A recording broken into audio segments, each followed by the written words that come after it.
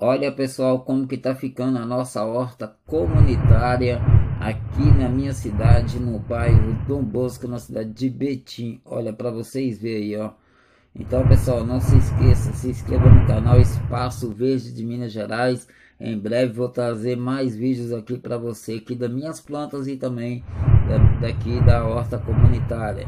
Um abraço, fiquem todos com Deus. Feliz Natal a todos!